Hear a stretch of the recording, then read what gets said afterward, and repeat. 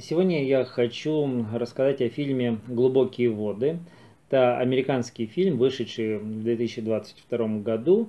И это, конечно, очень любопытный пример крайне неудачного фильма. Ну, не могу сказать, что плохого, ну, скажем так, неудачного, но, тем не менее, который, э, ну, обрел определенную популярность, а, скорее всего, по причинам, которые вовсе не связаны с его какой-то художественной ценностью. А, и сразу эти причины обозначу. Конечно, зрительское внимание к этой картине привлечено в первую очередь потому, что здесь главные роли играют Бен Аффлек и Анна де Армас, а, которые, как известно, именно э, во время съемок этого фильма познакомились, у них случился роман, э, роман довольно-таки бурный, за которым общественность следила, что называется, с неослабевающим интересом, но, во всяком случае, та общественность, которая вообще следит э, за жизнью кинозвезд, э, но вот о, о, как бы, о степени бурности этого романа я просто сужу потому, что вот я сам а, вовсе далек от, от отслеживания, кто там с кем встречается и живет, и что у них там происходит. Ну, о романе вот Бена Аффлека и с этой а, Анной, а, ну, невозможно было просто не услышать. Все время, ну, так или иначе, как бы попадались какие-то свидетельства об их отношениях, и вот я говорю, даже не желая как бы быть вовлеченным в эту светскую хронику, тем не менее, я как-то знал, в общем, что, что что-то между ними там то и дело как бы какая-то любовь происходит. И вот, э, вероятно, именно это, несмотря на то, что пара э, уже рассталась, и Бен Аффлек уже успел благополучно э, жениться на своей бывшей пассии, совершенно другой, ну, вернулся к истокам, ну, относительным. И вот несмотря на то, что вроде бы вот это дело уже в прошлом, вот и только этим я могу объяснить интерес к этой картине, вот э, пристальный такой интерес. Ну, может быть, он не особо пристальный, но, во всяком случае, определенное зрительское э, внимание, вот эти глубокие э, воды получили. Э, ну, наверное, потому что, да, есть желание простого зрителя увидеть, как же у них там все. Тем более, что фильм-то подается как э, эротический триллер, то есть, как бы, это же сразу дополнительно интересно, а тем более Анна де Армас, она же такая красотка, безусловная очень, и тем более она сейчас на пике популярности, и благодаря фильму э, «Достать ножи», наверное, в первую очередь, и а, благодаря вышедшей ну, уже чуть э, позже «Глубоких вод» блондинке, а, ну, то есть ее имя вот э, на слуху, у нее, безусловно, такая как бы рост популярности, а я еще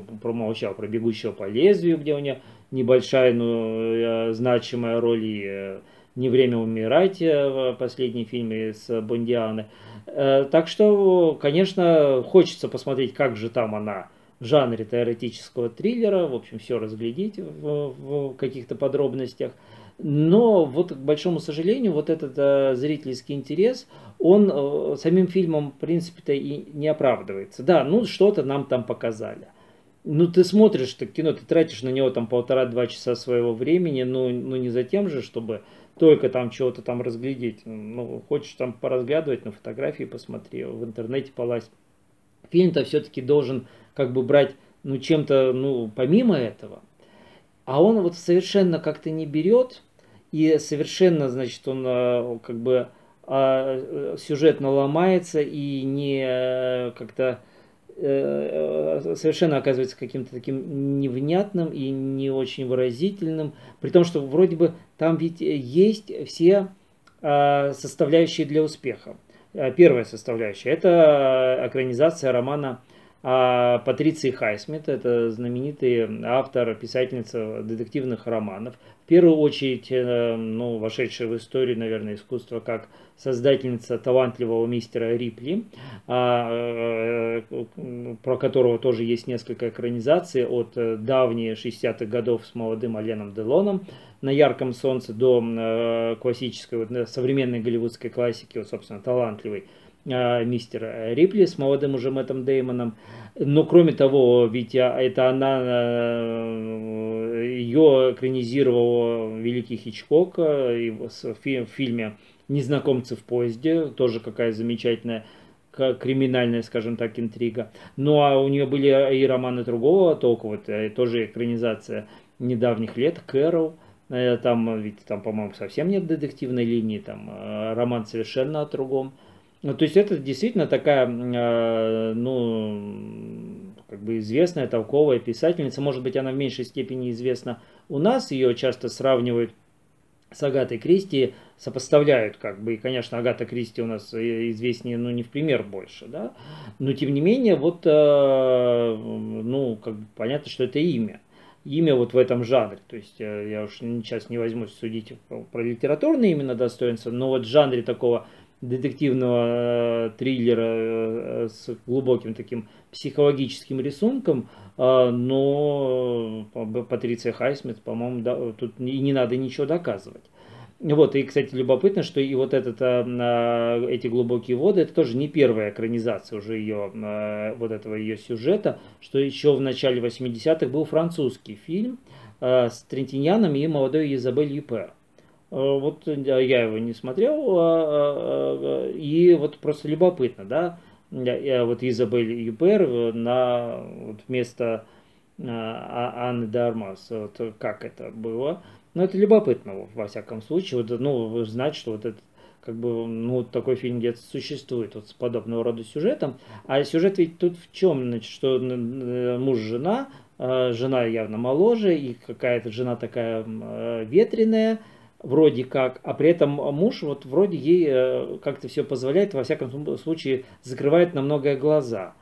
И как, то есть и мы не очень даже порой, вот я не совсем даже понял, вот это у нее только флирт, или все-таки он заходит там дальше. Ну, то есть, как бы я не то, что вот не понял, но вот как-то мне это показалось странным, что именно в этой картине здесь это но, в общем, какая-то такая неопределенность, она сохраняется и, возможно, намеренно. И вот он в какой-то момент, он просто говорит потенциальному ее, вот, как бы, ну, не могу сказать любовнику, как бы, ну, с кем она там, как бы, кому глазки строит, он просто говорит, а что, типа, а ты знаешь, я однажды там предыдущего-то ее убью, а, и как бы так вот типа признается в убийстве. И мы, он, конечно, вот он его запугивает настолько, что тот как бы потенциальный кавалер как бы быстро сваливает. Но мы вот, э, э, ну я про себя во всяком случае говорю, так я до конца все-таки не понял. То есть это с его стороны что было? Я понял это как, что это такая была, ну черная шутка такая. Типа я там, смотри, вообще это сам по себе крутой мужик. И дальше мы вот не вполне понимаем даже, как к этому относиться. А когда нас дальше происходит действительно э, убийство, вот и получается, вот нам, как и ну, там, другим, остается гадать, а что это было?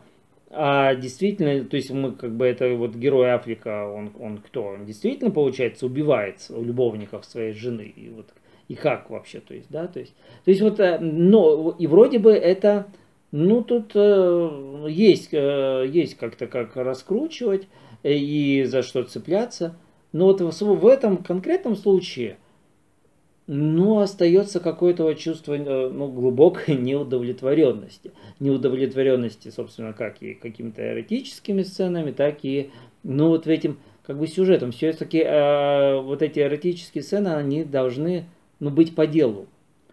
Они должны как-то, чтобы ну, врезаться в память, они должны как бы обрамляться ну, крепким сюжетом. И в этом отношении, конечно, с одной стороны, э, про, совершенно правильный выбор режиссера Эдриан Лайн, который вот как бы что называется э, вот э, жанр эротического триллера, это что называется дело всей его жизни. Ну не обязательно триллера, а скажем так, такой легкой как бы ну эротики. А, порой э, она решена в мелодраматическом жанре, как в случае с легендарным, во всяком случае в наших краях фильмом «Девять с половиной недель». А, но на самом деле ведь в Америки, он в первую очередь, когда о нем э, говорят, то в первую очередь э, его вспоминают как режиссера рокового влечения.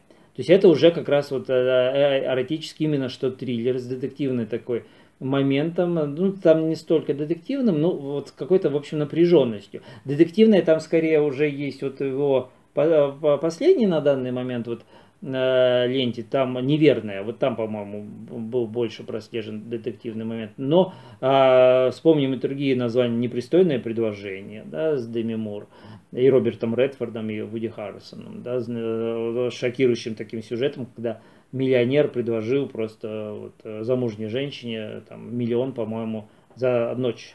Ну, как бы, я за ночь с тобой отдам все на свете. Но и она вместе с мужем, они должны были решить, а как.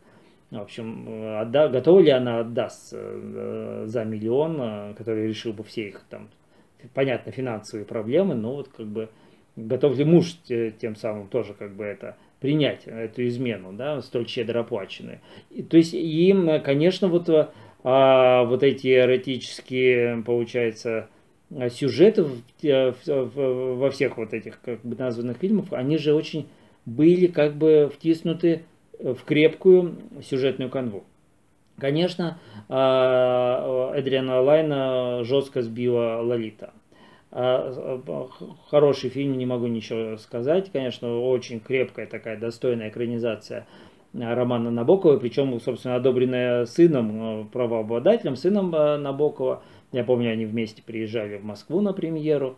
И, конечно, вроде бы хорошо сыгранная и тогда поставленная отмена, но не успех этого фильма, он, по сути, конечно, ну, не, в тот момент еще не поставил крест на, как бы, творчестве э, режиссера, ну, сказался, я думаю, несомненно, потому что все-таки вот э, что американская, что европейская публика не готовы оказались принять новую экранизацию этого, ну, действительно скандального романа. В новых условиях вот это уже не, не прошло, в отличие от, давнего фильма э, Кубрика.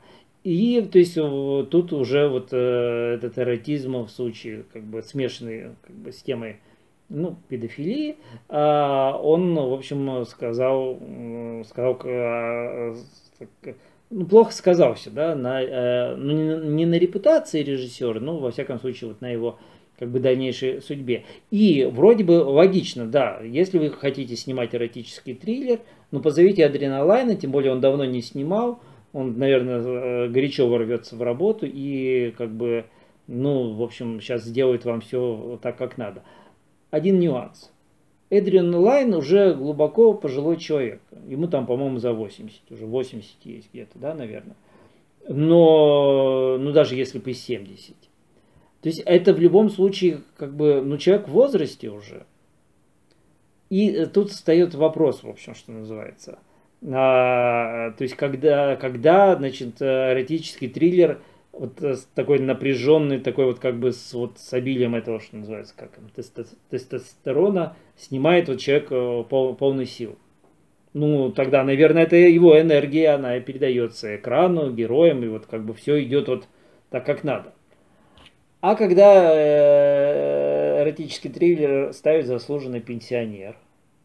Вот у нас очень тоже вот был фильм, это когда на в эротическое кино пришел наш режиссер Владимир Бортко. Я сейчас даже не вспомню, как этот фильм называется, вот с Аней Чиповской и Дмитрием Певцовым. А, как что-то, ну, что-то не о любви ли, может быть, да? боюсь, боюсь перебрать сейчас, в общем. А, ну, в общем, какой, какой это кошмар прям глаза лопаются, да, вроде бы да, все красиво и чиповская прелесть, ну, ну блин, э, э, прям э, не хочется просто со своими словами это говорить, я так из вежливости как бы промолчу, но возникает вопрос, как скажем так, творческой потенции, потенции режиссера. И вот глубокие воды это, ну, аналогичный случай. А при всем уважении к Эдрину Лайну, все-таки он какой-то дослед в искусстве оставил, вот хотя бы вот в этом жанре, да. Но стоило ли ему брать... Да, понятно, что он э, хотел вернуться в кино, да. Он до, давно не снимал, там, 20 лет. То есть, как бы, конечно, ребята, я, я с вами, я готов. Но, но, но, в общем, не было ли это ошибкой? Вот. Э, ну, может быть, э, что-то не получилось тут уже и не по вине режиссера. Но, конечно, вот, э, режиссер ответственен, ну, должен брать ответственность как за победу, так и за поражение. Поэтому в данном случае мы, ну, там могли быть и разные другие проблемы, но вот мы э, виним вот как-то волей-неволей виним вот режиссера. Ну вот, тем не менее, конечно, наверное, как я сказал, все равно глубокие воды обречены на какое-то внимание, все равно имена актеров привлекают.